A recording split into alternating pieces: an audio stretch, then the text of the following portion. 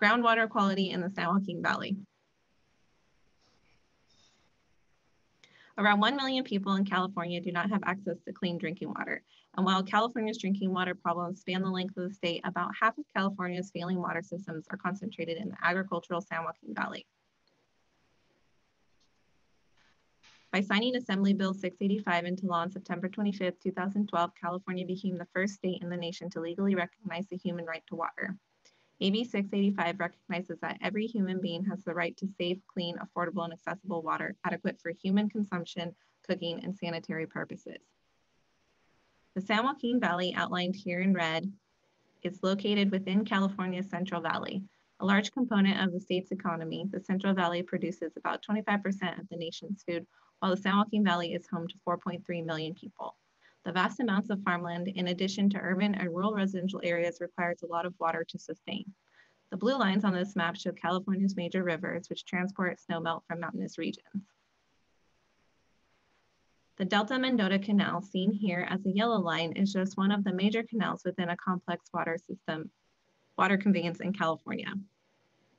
This canal is 116.5 miles long and is primarily used for irrigation along the western side of the San Joaquin Valley. We use California State Water Resources Control Board Division of Water Quality Groundwater Ambient Monitoring and Assessment Program to obtain groundwater quality data to assess where the best location to recharge groundwater would be. The following slides contain the data we obtained from GAMA. Surface water in this area tends to have a high salinity content as it accumulates salt while flowing from mountains to the delta, which has increasingly affected groundwater quality over time. This map shows the concentration of total dissolved solids, a proxy for salts in groundwater prior to 1950. The Delta Mendota Canal is now shown in red for reference. And here is 1950 to 1979. 1980 to 2009. TDS concentrations in groundwater 2010 to present. These maps show how TDS builds up as you approach the delta. Fertilizers used on farmlands contaminate surface water runoff with nitrate, which then infiltrates into groundwater. This map shows one measurement of nitrate prior to 1950.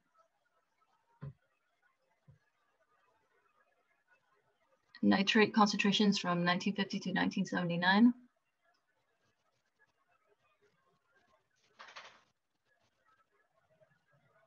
From 1980 to 2009.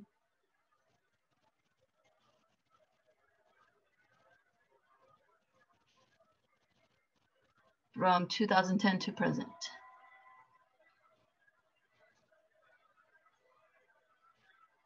Arsenic naturally occurs in confined aquifers below the SJV. The Arsenic is released into groundwater when wells penetrate those contaminated confined aquifers. This map shows the lack of arsenic concentrations in groundwater prior to 1950, even though pumping groundwater became more prevalent after the 1920s.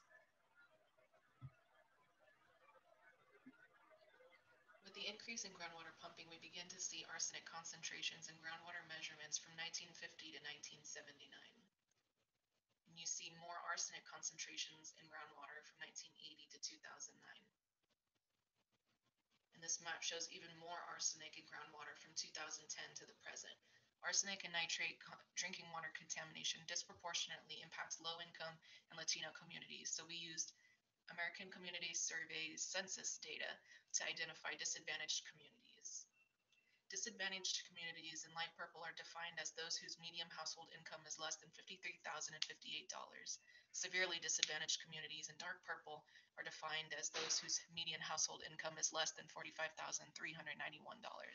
We searched for a place to recharge groundwater within these purple regions because people living here are less likely to be able to afford alternative solutions like buying clean water.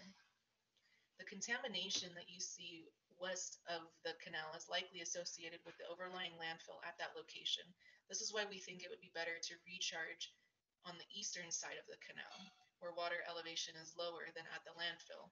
Recharging groundwater at this location would dilute nearby contamination, therefore helping those who depend on groundwater for daily use the most. Dilution is the solution. This location we chose has all contaminants, arsenic, nitrate, and TDS, within a severely disadvantaged community. Recharging with clean water dilutes the overall concentration of contaminants at the site, as well as regions where groundwater will continue to flow. We think our recharge location could help people at Crow's Landing, Patterson, and possibly even as far as Modesto.